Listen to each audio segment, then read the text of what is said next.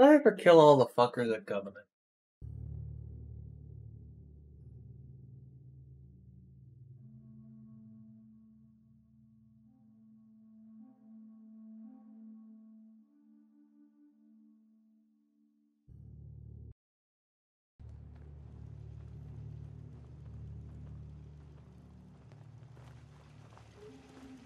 Head on in. Penny's shop is usually the first stop.